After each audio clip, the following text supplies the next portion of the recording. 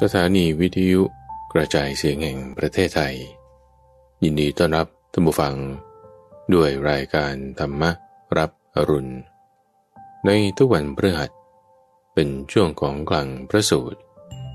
ที่เป็นกลางข้อมูลที่มีบทเปลี่ยนชนะ และความหมายที่ลึกซึ้งงดงาม น่าฟังตั้งแต่ต้น ให้เกิดผลจนถึงที่สุด และจบลงอย่างสวยงาม เป็นประสูตรเรื่องราวที่มาในพระไตรปิฎกที่เมื่อฟังแล้ว จะมีการตกผลึกของความคิด เกิดเป็นความคล่องปากจำได้ขึ้นใจ แทงตลอดด้วยปัญญาอย่างดี เป็นสมาทิฏฐิได้อ่านโดยพระมหาไพบูรณ์อาภิปุณโญจากวัดป่าดอนไฮโซในวันนี้ก็นำเสนอ เครือข่าย แห่งพระสัพพัญยุตยานันประเสริฐ หรือปรมชาลสูตร เป็นเรื่องราวที่สุปิยปริภาชก กับปรมัทตามานพสองสิทธิอาจารย์ ที่ต่างมีวาจา ขัดแย้งกันโดยทางตรงกันข้าม จนเป็นเหตุให้พระพุทธเจ้าปรารบถึงสิทธิอาจารย์สองคนนี้ แล้วก็กล่าวถึงปัญญาอันประเสริฐของพระองค์ ที่เรามักจะได้ยินว่า ปัญญาก็คือวิชาที่เป็นวิชาแปดหรือวิชาสามในพระสูตรปรมชาลานี้ได้พูดถึงปัญญาที่ยิ่งขึ้นไปกว่านั้นอีกท่านผู้ฟัง ที่พูดถึงศีลสมาธิปัญญาคำว่าปัญญานั้นเป็นหัวข้อ ในรายละเอียดของวิชาสามบ้างวิชาแปดบ้าง ที่ละเอียดลงไปกว่านั้น คืออยู่ในเนื้อหานี้ เป็นเรื่องราวที่มาในทีคานิกาย ในตอนนี้เป็นตอนที่หนึ่งที่ได้ปรารภเรื่องราวที่ท่านได้แจกแจง ถึงทิฏฐิความเห็น 62 อย่าง ใน episode นี้จะพูดถึงความเห็นปรารภในส่วนเรื่องที่เป็นอดีต แล้วก็ส่วนเรื่องที่เป็นอนาคตบางส่วนคำศัพท์ต่างๆที่อยู่ในพระสูตรนี้ ท่านผู้ฟังอาจจะไม่ค่อยคุ้นเคย ฟังแล้วอาจจะแบบเอ๊ยยังไง ก็อยากจะขอให้อดทนฟังไปซะก่อน ให้ครบถึงเนื้อหาทั้งหมด แต่ข้าพเจ้าเนี่ยจะมาทำความเข้าใจแจกแจงในช่วงอื่นๆ ของรายการต่อไป เดี๋ยวนี้เป็นตอนที่หนึ่งของปรมชาลสูตรบริการปรารบ เรื่องของศีล และถึงปัญญาได้ ก็เชิญรับฟัง พระสูตรว่าด้วยคายแห่งพระสัพพัญยุตยานอันประเสริฐทีคณิกาย ศีลขันธวัคเล่มที่เก้าข้อที่หนึ่งตอน สุปิยปริภาชก กับปรมทัตตมานก ก็สมัยหนึ่ง พระผู้มีพระภาค เสด็จทางไกล ระหว่างกรุงราชกฤห์กับเมืองนาลันทาพร้อมด้วยภิกษุสงฆ์หมู่ใหญ่ ประมาณห้าร้อยรูป ก็แม้สุปิยะปริภาชก ก็เดินทางไกล ระหว่างกรุงราชกฤห์กับเมืองนาลันทาพร้อมด้วยปรมาทัตตามานพผู้เป็นสิทธิ เช่นเดียวกันทราบว่าในการเดินทางครั้งนั้น สุปิยะปริภาชกกล่าวตีเตียนพระพุทธ พระธรรม พระสงฆ์หลายอย่าง ส่วนพระมทัตตามานพผู้เป็นสิทธิ์ของเขา กลับกล่าวยกย่องพระพุทธ พระธรรม พระสงฆ์หลายอย่าง อาจารย์กับสิทธิ์มีถ้อยคำขัดแย้งในลักษณะ ตรงข้ามกันอย่างนี้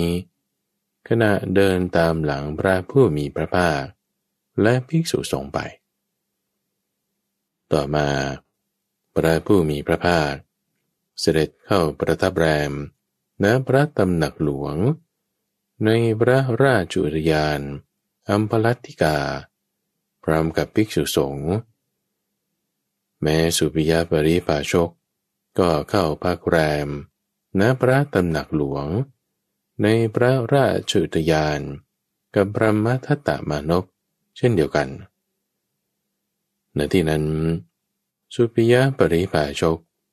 ก็กล่าวตีเตียนพระพุทธ พระธรรม พระสงฆ์หลายอย่าง ส่วนพระมัทตามานพผู้เป็นสิกองเขา กลับกล่าวยกย่องพระพุทธ พระธรรม พระสงฆ์หลายอย่าง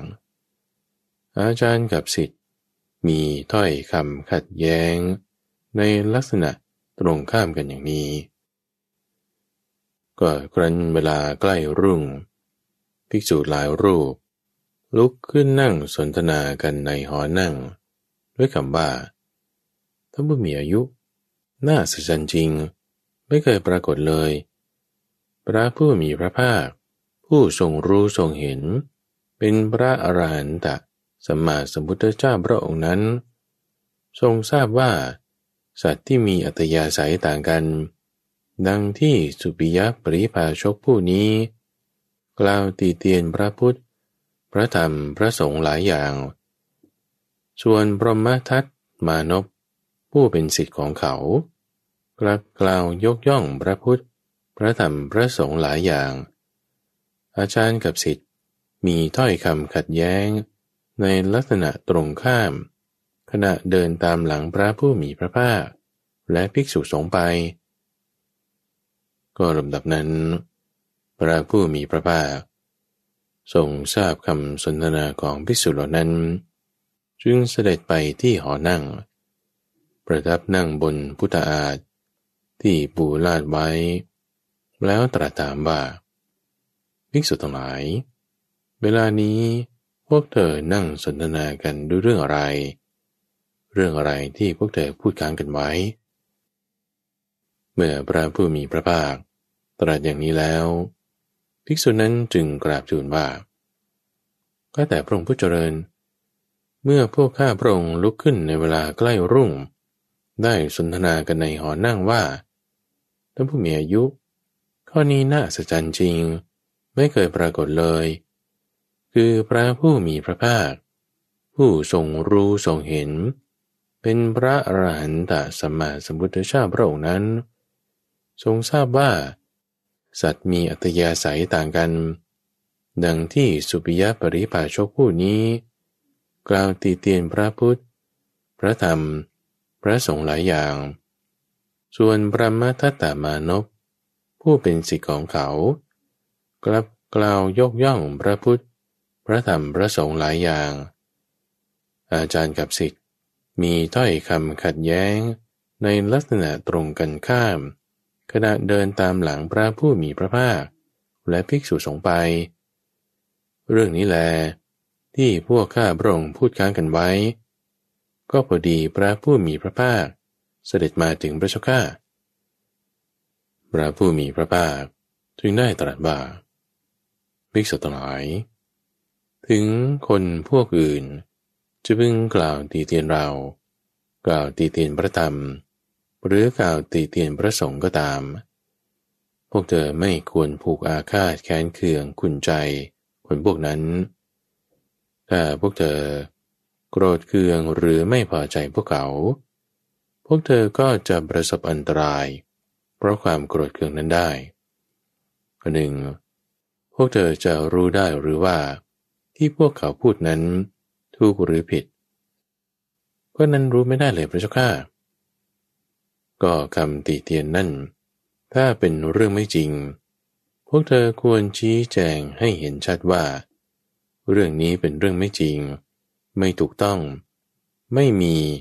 และไม่ปรากฏในพวกเราภิกษุทั้งหลาย ก็ถ้าพวกคนอื่น จะพึงกล่าวยกย่องเรา กล่าวยกย่องพระธรรมหรือกล่าวยกย่องพระสงฆ์ก็ตาม พวกเธอไม่ควรทำความรื่นเริงดีใจ หรือกระยิมใจต่อคนพวกนั้น ถ้าพวกเธอจะทำความรื่นเริงดีใจ หรือกระยิมใจต่อพวกเขา พวกเธอก็จะประสบอันตราย เพราะความรื่นเริงดีใจนั้นได้เช่นกันคำยกย่องนั้น ถ้าเป็นเรื่องจริง พวกเธอควรยืนยันให้รู้ชัดลงไปว่า เรื่องนี้เป็นเรื่องจริง ถูกต้องมีอยู่ และปรากฏในพวกเราหัวข้อจุลศีลภิกษุทั้งหลาย ปุถุชน เมื่อกล่าวยกย่องตถาคต ก็พึงกล่าวด้วยเรื่องเล็กน้อยต่ำต้อย เพียงเรื่องระดับศีลเท่านั้น ก็ปุถุชน เมื่อกล่าวยกย่องตถาคต จะพึงกล่าวว่า พระสมณโคดมละเว้นจากการฆ่าสัตว์ วางอาวุธและสัตรา มีความละอาย มีความเอ็นดู มุ่งหวังประโยชน์เกื้อกูลต่อสรรพสัตว์ทั้งหลายอยู่ หรือปุถุชน เมื่อกล่าวยกย่องตถาคต ก็จะพึงกล่าวว่า พระสมณโคดม ทรงละเว้นจากการถือเอาสิ่งของที่เจ้าของไม่ได้ให้ รับเอาแต่ของที่เขาให้ มุ่งหวังแต่ของที่เขาให้ ไม่ทรงเป็นขโมย เป็นคนสะอาดอยู่ ก็พระสมณโคดม ทรงละพฤติกรรม อันเป็นค่าศึกต่อปรมาจันประพฤติปรมาจันเว้นห่างไกลจากเมตุนธรรม อันเป็นของชาวบ้าน ก็พระสมณโคดม ทรงละเว้นจากการพูดเท็จ คือตรัสแต่คำสัตย์ดำรงความสัตย์มีถ้อยคำเป็นหลัก เชื่อถือได้ ไม่หลอกลวงชาวโลก ก็พระสมณโคดม ทรงละเว้นจากการกล่าวคำส่อเสียด คือฟังความจากฝ่ายนี้แล้ว ไม่ไปบอกฝ่ายโน้น พื่อทำลายฝ่ายนี้ หรือฟังความจากฝ่ายโน้นแล้ว ไม่มาบอกฝ่ายนี้ เพื่อทำลายฝ่ายโน้นและจะสมานคนที่แตกกัน ส่งเสริมคนที่ปรองดองกัน ชื่นชมยินดีเพลิดเพลิน ต่อผู้ที่สามัคคีกัน ตรัสแต่ถ้อยคำที่สร้างสรรค์ความสามัคคีก็พระสมณโคดม ทรงละเว้นจาก คำหยาบ คือตรัสแต่คำไม่มีโทษไพเราะ น่ารักจับใจ เป็นคำของชาวเมือง คนส่วนมากรักใคร่พอใจ ก็พระสมณโคดม ทรงละเว้นจากคำเพ้อเจ้อคือตรัสถูกเวลา ตรัสคำจริง ตรัสอิงประโยชน์ ตรัสอิงธรรมะ อิงวินัย ตรัสคำมีหลักฐานที่อ้างอิง มีกำหนด ประกอบด้วยประโยชน์ สมควรแก่เวลา ก็พระสมณโคดม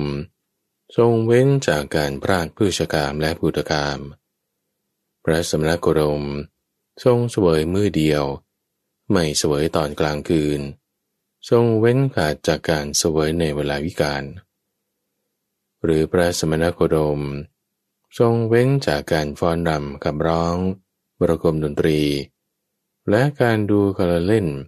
นั้นเป็นค่าศึกต่อกุศลธรรม พระสมณโคดม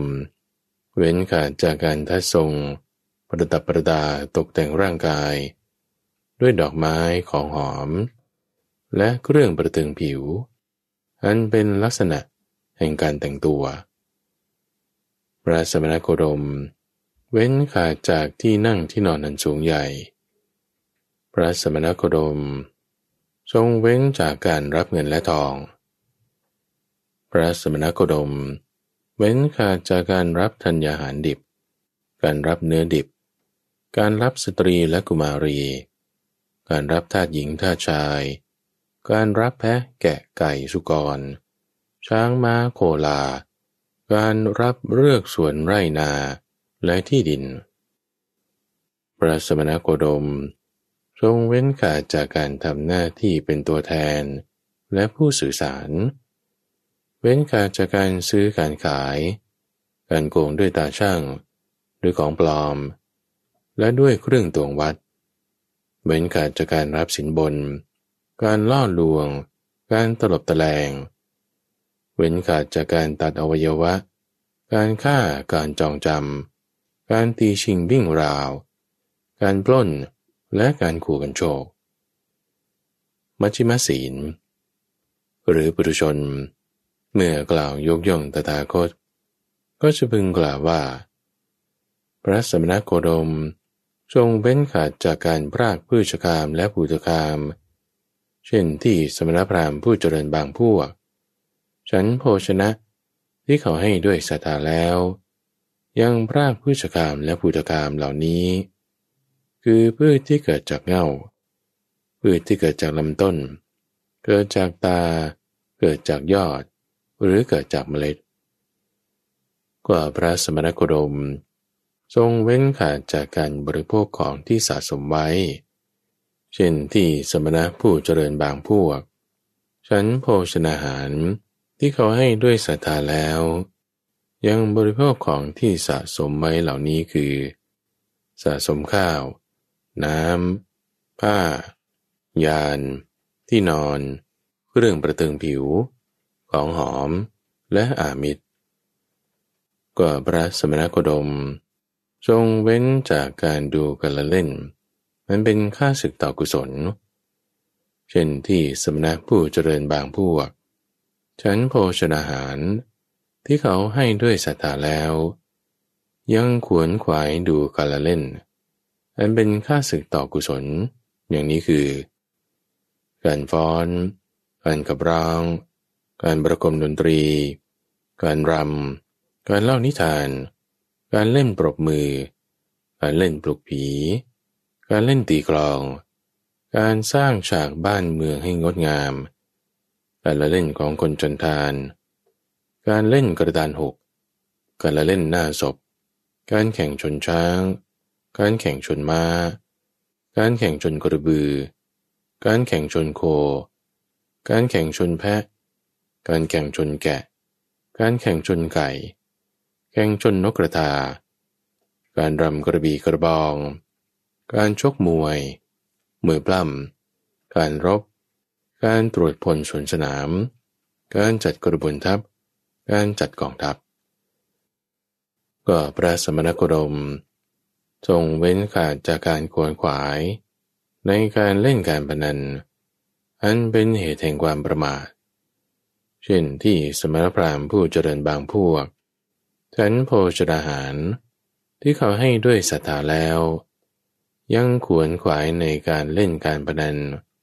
อันเป็นเหตุแห่งความประมาท อย่างนี้คือ การเล่นหมากรุก แถวละแปดตาหรือสิบตา การเล่นหมากเก็บ เล่นดวด เล่นหมากไหว เล่นโยนบ่วง เล่นไม้หึง เล่นกำทาย เล่นสกา เล่นเป่าใบไม้ เล่นไถเล็กๆ เล่นหุกเมน เล่นกังหัน เล่นตวงทราย เล่นรถเล็กๆ เล่นตนูเล็กๆ เล่นเขียนทาย เล่นทายใจ เล่นล้อเลียนคนพิการ ก็พระสมณโคดม ทรงเบ้นขาดจากที่นั่งที่นอนในสูงใหญ่ เช่นที่สมณะหรือพรามผู้เจริญบางพวก ฉันโภชนะที่เขาให้ด้วยศรัทธาแล้ว ยังใช้ที่นอนสูงใหญ่อย่างนี้คือ เตียงมีเท้าสูงเกินขนาด เตียงมีเท้าเป็นรูปสัตว์ร้าย พรมขนสัตว์ เครื่องลาดขนแกะ ลายวิจิต เครื่องลาดขนแกะสีขาว เครื่องลาดมีลายรูปดอกไม้ เครื่องลาดยัดนุ่น เครื่องลาดขนแกะ วิจิตด้วยรูปสัตว์ร้าย เช่นสีหาและเสือ เครื่องราดขนแกะมีขนสองด้าน เครื่องราดขนแกะมีขนด้านเดียว เครื่องราดปักด้วยไหม ประดับรัตนะ เครื่องราดบนหลังช้าง เครื่องราดบนหลังม้า เครื่องราดในรถ เครื่องราดทำด้วยหนังเสือ หนังชมด เครื่องราดมีเพดาน เครื่องราดมีหมอนแดงสองข้าง กว่าพระสมณโคดม จงเว้นขาดจากการขวนขวายในการประดับตกแต่งร่างกาย ช่นที่สมณพราหมณ์ผู้เจริญบางพวก ฉันโภชนาหารที่เขาให้ด้วยศรัทธาแล้ว ยังขวนขวายในการประดับตกแต่งร่างกายอย่างนี้ คืออบผิว นวด อาบน้ำหอมเพากาย ส่องกระจก แต้มตา ทัดพวงดอกไม้ ประทินผิว ผัดหน้า ทาปาก ประดับข้อมือ สวมเกี้ยว ใช้ไม้ถือ ใช้กลากยา ใช้ดาบ ใช้ประขัน ใช้ร่ม สวมรองเท้าวิจิต ติดกราบหน้าปักปิน ใช้พัดและแส้ขนหางจามรี หรือนุ่งห่มผ้าชายยาวว่าพระสมณโคดม ทรงเว้นขาดจากเดรัจฉานคาถา เช่นที่สมณพราหมณ์ผู้เจริญบางพวกฉันโภชนะที่เขาให้ด้วยศรัทธาแล้ว ยังพูดเดรัจฉานคาถาอย่างนี้คือ เรื่องพระราชา เรื่องโจร เรื่องมหาอมาตย์เรื่องกองทัพ เรื่องภัย เรื่องการรบ เรื่องข้าว เรื่องน้ำเรื่องผ้า เรื่องที่นอน เรื่องพวงดอกไม้ เรื่องของหอม เรื่องญาติ เรื่องยาน เรื่องบ้าน เรื่องนิคม เรื่องเมือง เรื่องชนบท เรื่องสตรี เรื่องบุรุษ เรื่องคนกล้า เรื่องตรอก เรื่องท่าน้ำ เรื่องคนที่ล่วงลับไปแล้ว เรื่องเบตเตเล็ด เรื่องโลก เรื่องทะเล เรื่องความเจริญ และเรื่องความเสื่อม ก็พระสมณโคดม ทรงเว้นขาดจากการพูดทุ่มเถียงแข่งแย่งกัน เช่นที่สมณพราหมณ์ผู้เจริญบางพวก ฉันโภชนะที่เขาให้ด้วยศรัทธาแล้ว ยังพูดทุ่มเถียงแข่งแย่งกันอย่างนี้คือ ท่านไม่รู้ทั่วถึงธรรมวินัยนี้ แต่ผมรู้ทั่วถึงท่านจะรู้ทั่วถึงธรรมวินัยนี้ได้อย่างไร ท่านปฏิบัติผิด แต่ผมปฏิบัติถูกคำพูดของผมมีประโยชน์ แต่คำพูดของท่านไม่มีประโยชน์คำที่ควรพูดก่อน ท่านกลับพูดภายหลังคำที่ควรพูดภายหลัง แต่ท่านกลับพูดก่อน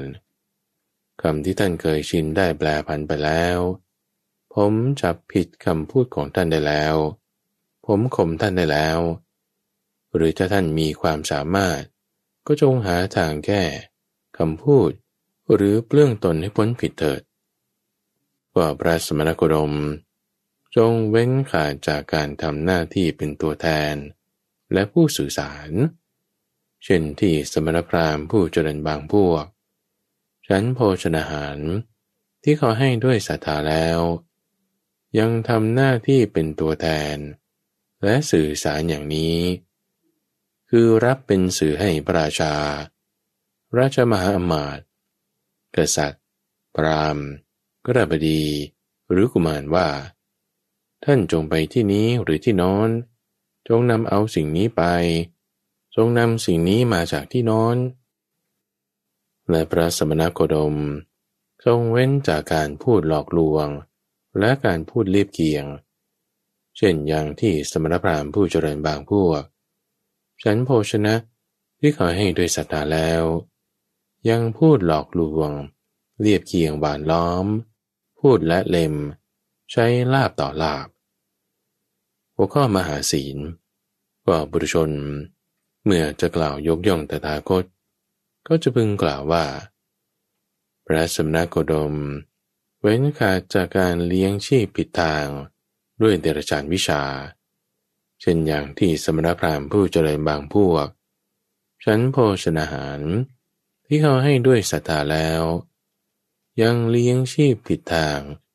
ด้วยเดรัจฉานวิชาอย่างนี้คือทำนายอวัยวะทำนายตำหนิทำนายโชคลางทำนายฝันทำนายลักษณะทำนายหนูกัดผ้าทำพิธีบูชาไฟ พิธีเบิกแว่นเวียนเทียน พิธีซัดแกลบบูชาไฟ พิธีซัดรำบูชาไฟ พิธีซัดข้าวสารบูชาไฟ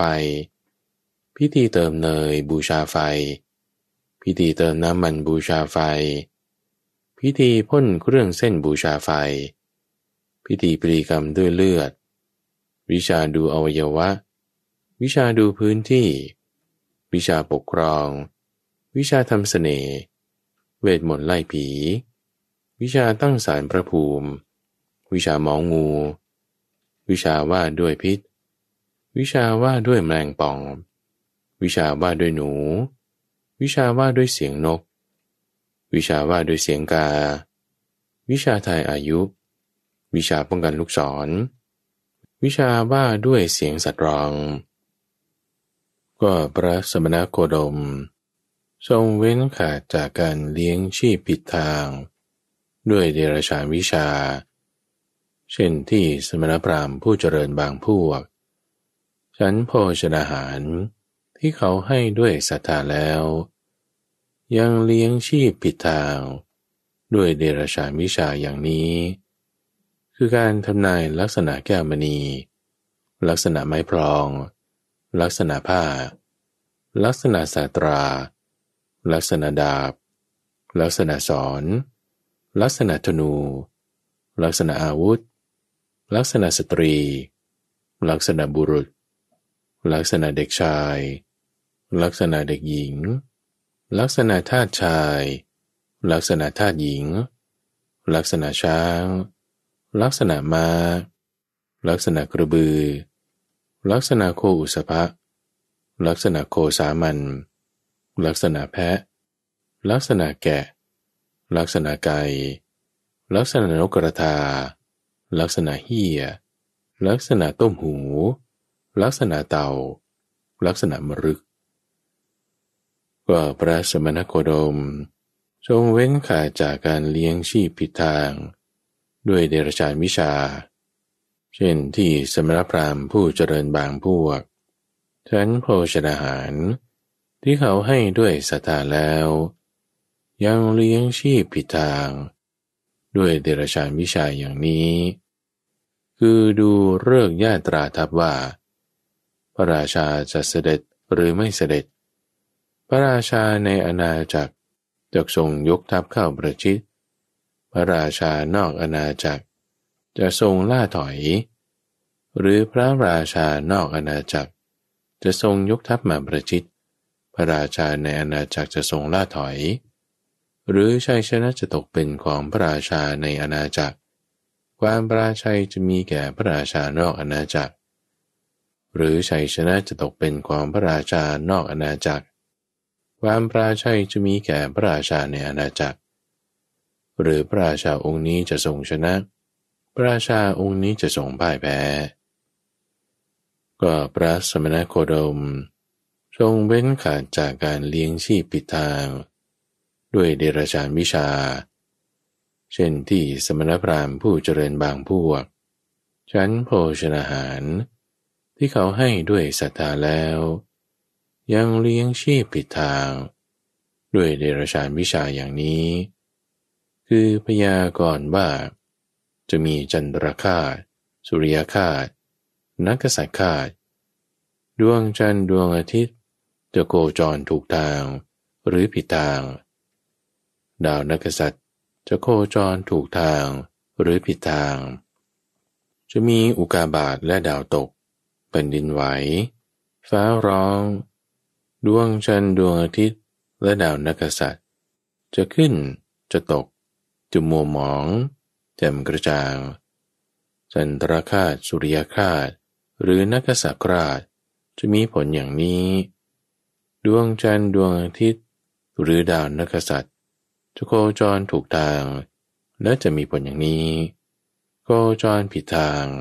จะมีผลอย่างนี้ อุกบาทและดาวตกเป็นดินไหว ฟ้าร้อง จะมีผลอย่างนี้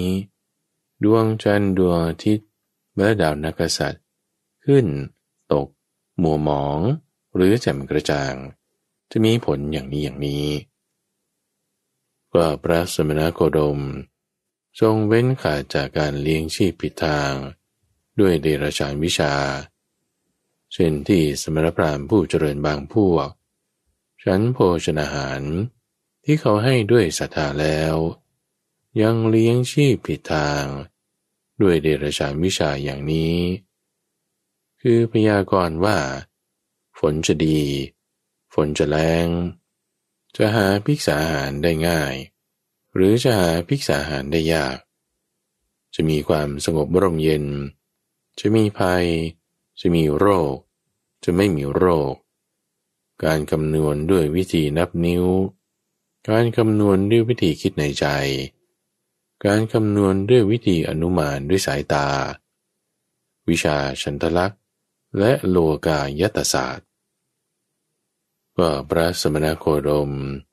ทรงเว้นขาดจากการเลี้ยงชีพผิดทาง ด้วยเดรชานวิชา เช่นที่สมณพราหมณ์ผู้เจริญบางพวก ฉันโภชนาหาร ที่เขาให้ด้วยศรัทธาแล้ว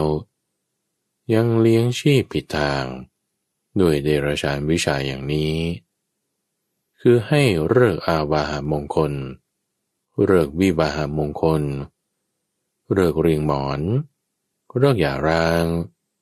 เลิกรวบรวมทรัพย์ เลิกใช้จ่ายทรัพย์ทำให้โชคดีทำให้กราร้าย ให้ยาประดุงคัน รายมนทำให้ลิ้นแข็งทำให้คางแข็งทำให้มือสัน่นทำให้คางสัน่นทำให้หูอื้อ เป็นหมอดูลูกแก้ว ใช้หญิงสาวเป็นคนทรง ใช้หญิงประจำเทบาลัยเป็นคนทรงบวงสวงดวงอาทิตย์ และห้ามเท้าหมาพรมไร่มนพ่นไฟ หรือทำพิธีเรียกขวัญ ก็สมณะโกดม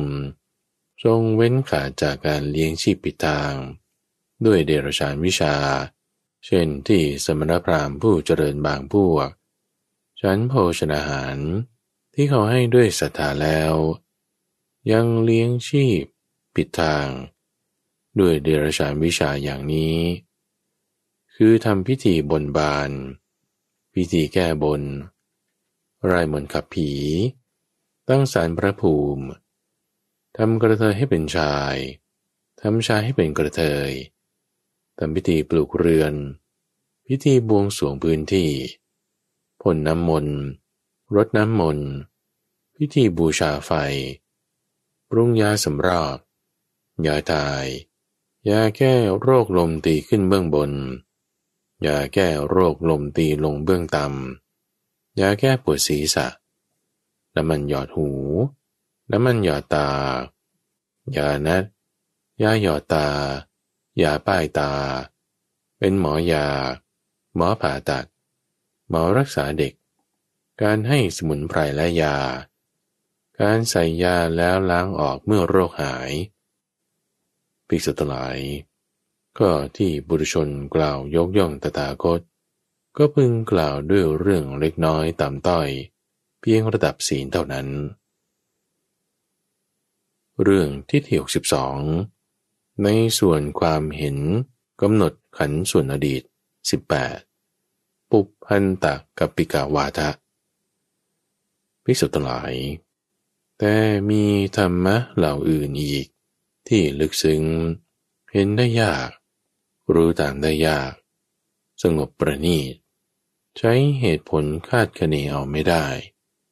ละเอียด รู้ได้เฉพาะบัณฑิต ซึ่งตถาคต รู้แจ้งได้เองแล้ว สั่งสอนผู้อื่นให้รู้แจ้งตาม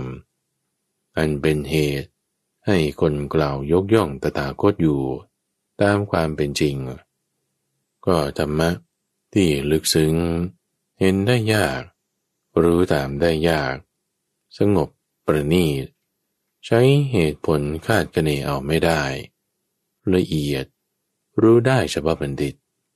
ซึ่งตถาคตได้รู้แจ้งเองแล้ว สั่งสอนให้ผู้อื่นรู้แจ้งตาม อันเป็นเหตุให้คนกล่าวยกย่องตถาคต ตามความเป็นจริงนั้นเป็นอย่างไร ภิกษุทั้งหลาย ว่ามีสมณพราหมณ์พวกหนึ่งกำหนดขันส่วนอดีต มีความเห็นคล้อยตามขันส่วนอดีตปรารบขันส่วนอดีต ประกาศวาทะแสดงทิฏฐิต่างๆ ด้วยมูลเหตุ 18 อย่าง ก็สมณพราหมณ์ผู้เจริญเหล่านั้น อาศัยอะไร ปรารบอะไร จึงกำหนดขันส่วนอดีต มีความเห็นคล้อยตามขันส่วนอดีต ปรารบขันส่วนอดีต ประกาศวาทะแสดงทิฏฐิต่างๆ ด้วยมูลเหตุ 18 อย่าง หัวข้ออัตตาและโลกเที่ยง คือสัสตาวาทะสี่อย่าง ภิกษุทั้งหลาย ก็มีสมณพราหมณ์พวกหนึ่ง มีวาทะว่าเที่ยง บัญญัติอัตตาและโลก ว่าเที่ยงด้วยมูลเหตุสี่อย่าง ก็สมณพราหมณ์ผู้เจริญเหล่านั้น อาศัยอะไร ปรารบอะไร จึงมีวาทาว่าเที่ยง บัญญัติอัตตาและโลกว่าเที่ยง ด้วยมูลเหตุสี่อย่าง ก็สมณะหรือพรามบางพวกในโลกนี้ อาศัยความเพียรเครื่องเผากิเลส ความเพียรที่ตั้งมั่น ความหมั่นประกอบ ความไม่ประมาท และอาศัยการใช้ความคิดอย่างถูกวิธี และบรรลุเจโตสมาธิ ที่เป็นเหตุทำให้จิตตั้งมั่น บริสุทธิ์ผุดพอง ไม่มีกิเลสเพียงดังเนิน ปราศจากความเศร้าหมอง ระลึกชาติก่อนได้หลายชาติ คือหนึ่งชาติบ้างสองชาติบ้างสามชาติสี่ชาติห้าชาติบ้าง สิบชาติยี่สิบสามสิบสี่สิบห้าสิบชาติบ้างร้อยชาติบ้าง พันชาติบ้าง แสนชาติบ้าง ร้ายร้อยชาติบ้าง หลายพันชาติบ้าง หลายแสนชาติบ้างว่าในภพโน้น เรามีชื่ออย่างนั้น มีตระกูล มีวันนะ มีอาหารสบายสุขทุกข์ และมีอายุอย่างนั้นอย่างนั้น กรันจุติ คือเคลื่อน จากภพนั้น ก็ไปเกิดในภพโนนแม้ในภพนั้น เราก็ได้มีชื่ออย่างนั้น มีตระกูล มีวันนะมีอาหารทวยสุขทุกข์ และมีอายุอย่างนั้นอย่างนั้น จุดีจากภพนั้น จึงมาเกิดในภพนี้ เขาระลึกชาติก่อนได้หลายชาติ พร้อมทั้งลักษณะ ทั่วไป และชีวประวัติอย่างนี้ เขาจึงพูดอย่างนี้ว่า อัตตาและโลกเที่ยง ยั่งยืน ตั้งมั่นอยู่ดุดยอดภูเขา ดุดเสาระเนียด ส่วนสัตว์เหล่านั้น ย่อมเล่นไป ย่อมท่องเที่ยวไป จุติและเกิด แต่มีสิ่งที่เที่ยงอยู่แน่ เพราะเห็นไรเพราะว่าเราอาศัยความเพียรเครื่องเผากิเลส ความเพียรที่ตั้งมั่น ความหมั่นประกอบ ความไม่ประมาท และอาศัยการใช้ความคิดอย่างถูกวิธี และบรรลุเจโตสมาธิ ที่เป็นเหตุทำให้จิตตั้งมั่น ระลึกชาติก่อนได้หลายชาติ คือหนึ่งชาติบ้างสองชาติบ้าง เป็นต้น เราระลึกชาติก่อนได้หลายชาติ ร้อมทั้งลักษณะทั่วไป และชีวประวัติอย่างนี้ เพราะการได้บรรลุคุณพิเศษนี้ เราจึงรู้อาการที่อัตตาและโลก เที่ยง ยั่งยืน ตั้งมั่นอยู่ดุดยอดภูเขา ดุดเสาระเนียด ส่วนสัตว์เหล่านั้น ย่อมเล่นไป ท่องเที่ยวไป จุติและเกิด แต่มีสิ่งที่เที่ยงอยู่แน่ พิสุตหลาย นี้เป็นมูลเหตุที่หนึ่ง ซึ่งสมณพราหมณ์พวกหนึ่งอาศัยแล้ว ปรารบแล้ว จึงมีวาทะว่าเที่ยง บัญญัติอัตตาและโลกว่าเที่ยงอันหนึ่ง ในมูลเหตุที่สองก็สมณะหรือพรามผู้เจริญ อาศัยอะไร ปรารบอะไร จึงมีวาทาว่าเที่ยง บัญญัติอัตตาและโลกว่าเที่ยง ก็สมณะหรือพระรามบางคนในโลกนี้ อาศัยความเพียรเครื่องเผากิเลส ความเพียรที่ตั้งมั่น ความหมั่นประกอบ ความไม่ประมาท และอาศัยการใช้ความคิดอย่างถูกวิธี จึงบรรลุเจโตสมาธิ ที่เป็นเหตุทำให้จิตตั้งมั่น ระลึกชาติก่อนได้หลายชาติ คือหนึ่งสังวัตกับและวิวัตกับบ้างสองสังวัตกับและวิวัตกับบ้างสามสังวัตกับและวิวัตกับบ้างสี่ห้าหรือสิบสังวัตกับและวิวัตกับบ้างว่า ในภพน้นเรามีชื่ออย่างนั้น มีตระกูล มีวันนะ มีอาหาร ถวยสุขทุกข์ และมีอายุอย่างนั้นอย่างนั้น ครั้นจุติจากภพนั้นแล้ว ก็ไปเกิดในภพนอน แม้ในภพนั้น เราก็มีชื่ออย่างนั้น มีตระกูล มีวันนะ มีอาหารสวยสุขทุกข์ และมีอายุอย่างนั้นอย่างนั้น ครั้นจุติจากภพนั้นแล้ว จึงมาเกิดในภพนี้ เขาระลึกชาติก่อนได้หลายชาติ พร้อมทั้งลักษณะทั่วไป และชีวประวัติอย่างนี้ เขาจึงกล่าวอย่างนี้ว่า อัตตาและโลกเที่ยง ยั่งยืน ตั้งมั่นอยู่ดุดยอดภูเขา ดุดเสาระเนียด ส่วนสัตว์เหล่านั้นย่อมแล่นไปต้องเที่ยวไป จุติและเกิด แต่มีสิ่งที่เที่ยงอยู่แน่ เพราะเหตุอะไร เพราะว่าเราอาศัยความเพียร เรื่องเผากิเลส ความเพียรที่ตั้งมั่น ความหมั่นประกอบ ความไม่ประมาท และอาศัยการใช้ความคิดอย่างถูกวิธี จึงบรรลุเจโตสมาธิ ที่เป็นเหตุทำให้จิตตั้งมั่น ระลึกชาติก่อน ได้หลายชาติว่า ในภพโน้นเรามีชื่ออย่างนั้น มีตระกูล มีวันนะ มีอาหารสวยสุขและทุกข์ มีอายุอย่างนั้นอย่างนั้น จุติจากภพนั้นแล้ว จึงไปเกิดในภพนอน แม้ในภพนั้น เราก็มีชื่ออย่างนั้น มีตระกูล มีวันนะ มีอาหารสวยสุขและทุกข์ มีอายุอย่างนั้นอย่างนั้น เราระลึกชาติก่อนได้หลายชาติ พร้อมทั้งลักษณะทั่วไป และชีวประวัติอย่างนี้ เพราะการได้บรรลุคุณวิเศษนี้ เราจึงรู้อาการที่อัตตาและโลกเที่ยง ยั่งยืน ตั้งมั่นอยู่ดุดยอดภูเขา ดุดเสาระเนียด ส่วนสัตว์เหล่านั้นย่อมเล่นไป ท่องเที่ยวไป จูติและเกิด แต่มีสิ่งที่เที่ยงอยู่แน่พิสุทธิ์หลาย นี้เป็นมูลเหตุที่สอง ซึ่งสมณพราหมณ์พวกหนึ่งอาศัยแล้วปรารบแล้ว จึงมีวาทะว่าเที่ยง บัญญัติอัตตาและโลกว่าเที่ยงหนึ่งในมูลเหตุที่สามก็สมณพราหมณ์ผู้เจริญ อาศัยอะไร ปรารบอะไร จึงมีวาทะว่าเที่ยง บัญญัติอัตตาและโลกว่าเที่ยง ก็สำนักหรือพรามบางคนในโลกนี้ อาศัยความเพียรเครื่องเผากิเลส ความเพียรที่ตั้งมั่น ความหมั่นประกอบ ความไม่ประมาท และอาศัยการใช้ความคิดอย่างถูกต้องแล้วบรรลุเจโตสมาธิ ที่เป็นเหตุทำให้จิตตั้งมั่น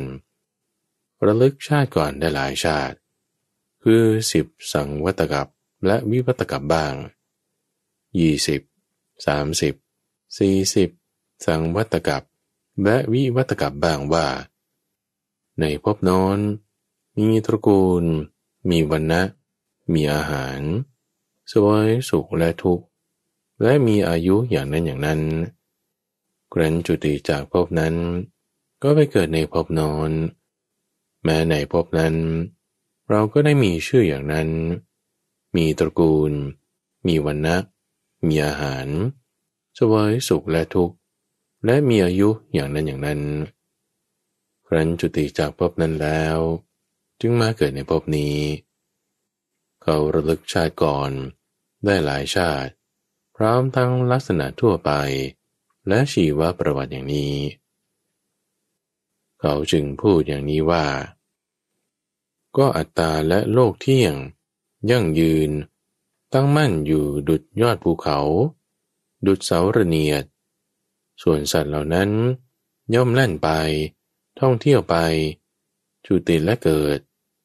แต่มีสิ่งที่เที่ยงอยู่แน่ราะนั้นเพราะเหตุอะไร เพราะว่าเราอาศัยความเพียรเรื่องเผากิเลส ความเพียรที่ตั้งมั่น ความหมั่นประกอบ ความไม่ประมาท และอาศัยการใช้ความคิดอย่างถูวิธี จึงบรรลุเจโตสมาธิที่เป็นเหตุทำให้จิตตั้งมั่น ระลึกชาติก่อนได้หลายชาติ คือสิบยี่สิบสามสิบถึงสี่สิบวัฏกับบ้าง เราระลึกถึงชาติก่อนได้หลายชาติ พร้อมทั้งลักษณะทั่วไป และชีวประวัติอย่างนี้ เพราะการได้บรรลุคุณวิเศษนี้ เราจึงรู้อาการที่อัตตาและโลกเที่ยง ยั่งยืน ตั้งมั่นอยู่ดุจยอดภูเขา ดุจเสาระเนียดชวนสัตว์เหล่านั้น ย่อมแล่นไป ท่องเที่ยวไป จุติและเกิด แต่สิ่งที่เที่ยงมีอยู่แน่ภิกษุทหลาย นี้เป็นมูลเหตุที่สามซึ่งสมณพราหมณ์พวกหนึ่ง อาศัยแล้ว ปรารบแล้ว จึงมีวาทะว่าเที่ยง บัญญัติอัตตา และโลกว่าเที่ยงอันหนึ่ง ในมูลเหตุที่สี่สมณพราหมณ์ผู้เจริญอาศัยอะไร ปรารบอะไรที่มีวาทะว่าเที่ยง บัญญัติอัตตาและโลกว่าเที่ยงก็สมณะหรือพรามบางคนในโลกนี้ เป็นนักตักกะ เป็นนักอภิปรัชญา แสดงทัศนะของตน ตามหลักเหตุผล และการคาดคะเนความจริง อย่างนี้ว่า อัตตาและโลกเที่ยง ยั่งยืน ตั้งมั่นอยู่ดุดยอดภูเขา ดุดเสาระเนียด ส่วนสัตว์เหล่านั้นย่อมแล่นไป ท่องเที่ยวไป จุติและเกิด แต่สิ่งที่เที่ยงมีอยู่แน่ ภิกษุหลายนี้เป็นมูลเหตุที่สี่ซึ่งสมณะหรือพรามพวกหนึ่ง อาศัยแล้ว ปรารบแล้ว จึงมีวาทาว่าเที่ยง บัญญัติอัตตา และโลกว่าเที่ยง ภิกษุทั้งหลาย ก็สมณพราหมณ์เหล่านั้น มีวาทาว่าเที่ยง บัญญัติอัตตา และโลกว่าเที่ยง ด้วยมูลเหตุสี่อย่างนี้แหละ ก็สมณพราหมณ์เหล่านั้นทุกจำพวก มีวาทะว่าเที่ยง บัญญัติอัตตาและโลกว่าเที่ยง ด้วยมูลเหตุสี่อย่างนี้ หรือด้วยมูลเหตุอย่างใดอย่างหนึ่ง ในสี่อย่างนี้ ไม่พ้นไปจากนี้ภิกษุทั้งหลาย เรื่องนี้ตถาคตรู้ชัดว่า มูลเหตุแห่งทิฏฐินี้ ที่บุคคลยึดถืออย่างนี้แล้ว ย่อมมีกติ และพบหน้าอย่างนั้นอย่างนั้น ตถาคตรู้มูลเหตุนั้นชัด และยังรู้ชัดยิ่งขึ้นไปกว่านั้นอีก จึงไม่ยึดมั่น เมื่อไม่ยึดมั่น จึงรู้ความดับด้วยตนเอง รู้ความเกิดความดับ คุณโทษ และอุบายเรื่องสลัดเวทนาออกตามความเป็นจริง ถาคตจึงหลุดพ้น เพราะไม่ยึดมั่นถือมั่นภิกษุทั้งหลาย ธรรมะเหล่านี้แล ลึกซึ้ง เห็นได้ยาก รู้ตามได้ยาก สงบ ประณีต ใช้เหตุผลคาดคะเนเอาไม่ได้ ละเอียด รู้ได้เฉพาะบัณฑิต ซึ่งตถาคตรู้แจ้งได้เองแล้ว สั่งสอนผู้อื่น ให้รู้แจ้งตาม อันเป็นเหตุให้คนกล่าวยกย่องตถาคต ถูกต้องตามความเป็นจริง ตอนที่สองว่าด้วยทิฏฐิที่เห็นว่าอัตตาและโลกเที่ยงเป็นบางอย่าง เอกัจจะสัตสตะวาทะ ทั้งสี่ภิกษุทั้งหลาย มีสมณพราหมณ์พวกหนึ่ง มีวาทะว่า บางอย่างเที่ยง บางอย่างไม่เที่ยง จึงบัญญัติอัตตาและโลกว่า บางอย่างเที่ยง บางอย่างไม่เที่ยง ด้วยมูลเหตุสี่อย่าง ก็สมณพราหมณ์ผู้เจริญเหล่านั้น อาศัยอะไร ปรารบอะไร จึงมีวาทาว่า บางอย่างเที่ยง บางอย่างไม่เที่ยง บัญญัติ อัตตาและโลกว่า บางอย่างเที่ยง บางอย่างไม่เที่ยงภิกษุทั้งหลายก็สมัยหนึ่ง เมื่อล่วงไปนานๆ โลกนี้พินาศ เมื่อโลกกำลังพินาศ เราสัดส่วนมาก ไปเกิดที่อาภัสรพรหมโลก นึกคิดอะไร ก็สำเร็จได้ตามปรารถนา มีปีติเป็นอาหาร มีรัศมีซ่านออกจากร่างกาย เที่ยวสัญจรไปในอากาศ อยู่ในวิมานอันงดงาม สถิตอยู่นานแสนนานก็สมัยหนึ่ง เมื่อล่วงไปนานๆ โลกนี้กลับฟื้นขึ้น เมื่อโลกกำลังฟื้นขึ้น วิมานของพรหมปรากฏว่าว่างเปล่า เวลานั้นสันผู้จุติคือเกลื่อน จากชั้นอาภัสราพรหมโลกเพราะสิ้นอายุหรือสิ้นบุญ ย่อมเกิดที่วิมานพรหมอันว่างเปล่า นึกคิดอะไรก็สำเร็จได้ตามปรารถนา มีปีติเป็นอาหาร มีรัศมีสั้นออกจากร่างกาย เที่ยวสัญจรไปในอากาศ อยู่ในวิมานอันงดงาม สถิตอยู่นานแสนนาน ก็ประสัตผู้นั้นอยู่ในวิมานแต่ผู้เดียวเป็นเวลานาน จึงเกิดเบื่อหน่ายว่า โอ้หนอ แม้สัตว์เหล่าอื่น พึงมาเป็นอย่างนี้บ้าง ต่อมาสัตว์เหล่าอื่น ก็จุติจากชนอาภัสรปรมโลกเพราะสิ้นอายุหรือสิ้นบุญ ย่อมเกิดที่วิมานพรม เป็นผู้อยู่ร่วมกับสัตว์นั้น แม้สัตว์พวกนั้น นึกคิดอะไร ก็สำเร็จได้ตามปรารถนา มีปีติเป็นอาหาร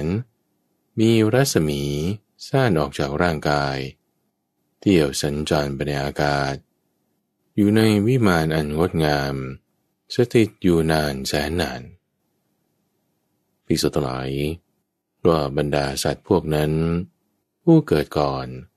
จึงมีความคิดอย่างนี้ว่า เราเป็นพรหมเป็นเท้ามหาพรหมผู้ยิ่งใหญ่ ไม่มีใครข่มเหงได้ เห็นถ่องแท้ เป็นผู้กุมอำนาจ เป็นอิสระ เป็นผู้สร้าง ผู้บันดาล ผู้ประเสริฐ ผู้บงการ ผู้ทรงอำนาจ เป็นบิดาของสัตว์ ผู้เกิดมาแล้ว และกำลังจะเกิด เราบันดาลสัตว์เหล่านี้ขึ้นมาก็นั้นเพราะเหตุไร เพราะว่าเรามีความคิดมาก่อนว่า โอ้หนอ แม้สัตว์เหล่าอื่น พึงมาเป็นอย่างนี้บ้าง เรามีความตั้งใจอย่างนี้ และสัตว์เหล่านี้ก็ได้มาเป็นแล้วอย่างนี้ แม้พวกสัตว์ที่เกิดภายหลัง ก็มีความคิดอย่างนี้ว่า ท่านผู้เจริญนี้เป็นพระพรหมเป็นเท้ามหาพรหมผู้ยิ่งใหญ่ ไม่มีใครข่มเหงได้ เห็นถ่องแท้ เป็นผู้กุมอำนาจ เป็นอิสระ เป็นผู้สร้าง ผู้บันดาล ผู้ประเสริฐ ผู้บงการ ผู้ทรงอำนาจ เป็นบิดาของสัตว์ผู้เกิดมาแล้ว และกำลังจะเกิด พระพรหมผู้เจริญ บันดาลพวกเราขึ้นมา เพราะเหตุไร เพราะว่าพวกเราได้เห็นพระพรหมองค์นี้เกิดในที่นี้ก่อน ส่วนพวกเราเกิดมาภายหลัง ภิกษุทั้งหลาย ก็บรรดาสัตว์พวกนั้น พวกที่เกิดก่อน มีอายุยืน มีผิวพรรณงดงาม และมีศักดิ์มากกว่า ส่วนผู้เกิดภายหลัง มีอายุสั้น ผิวพรรณซาม และมีศักน้อยกว่า